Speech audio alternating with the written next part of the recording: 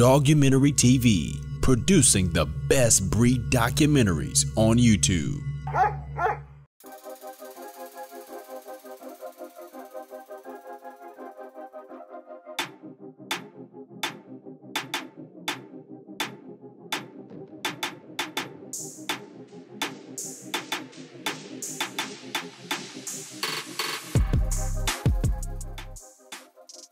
Another misconception and confusion is what breeds made up the American Bully? What is the makeup of this breed?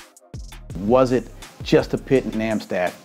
Is it Bulldog that's in the breed? I mean, it's a big cloud area that people haven't really got clarification on what exactly is an American Bully, and I'll basically explain it to you. The American Bully, in the beginning from my hands with Razor's Edge, was Pit Bull and Amstaff. That's what it was.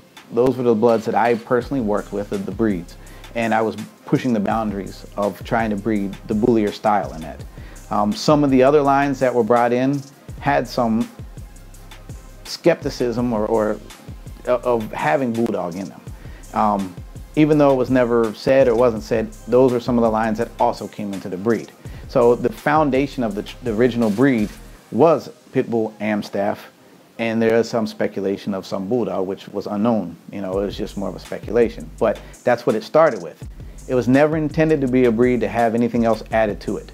However, over generations, it has. It's changed. Um, it wasn't the original intention of the breed, and it wasn't done by me personally, but it was done by our community. I mean, people in the community were trying to get bullier style dogs, and instead of the way I did it, they figured using bulldog lineage or you know some bulldog stuff in it would give those traits. Um, and in essence, some dogs it worked, you know, and some dogs it didn't, and it brought in traits into the breed that weren't initially in the breed, but in a way it also helped freshen the breed too. So now in the American Bully breed, I don't know what actual bulldog is in there, but there is element of bulldog in the breed.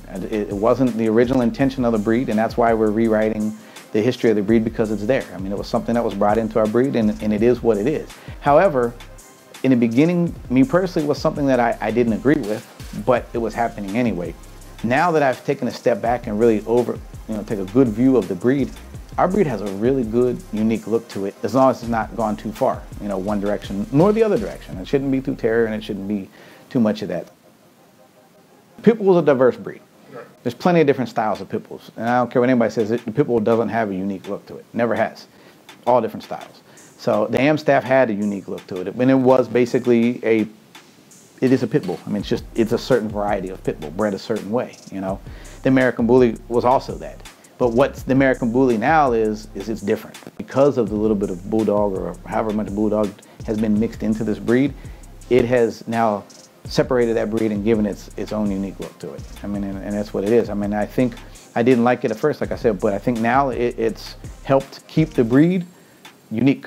You know, it, it's been one of these things that that's made us and our breed look different than any other breed. We really have a look unique to our breed, and that is its own look. I mean, you can look at an American Bully and say it's an American Bully, and yeah, it is you know predominantly Amstaff Pit Bull lineage, but there are bulldog traits in a lot of these lines and a lot of these dogs, and it is in our breed. And you know, it's something that we can't remove, and it's something that's actually tweaked the way our breed look, and it's just what our breed is to this day. So it's there. But like I said again, I mean, it's one of those things that there's a boundary, you know. And if you go too far this way, meaning bulldog, then you're gonna it'll roll into looking like an oldie or an a Frenchie or an English. Same if you go too far the other way, it'll roll back into looking like an Amstaff or a Pit Bull. So it's a fine line of what it is, but it's a, it's the makeup of the breed.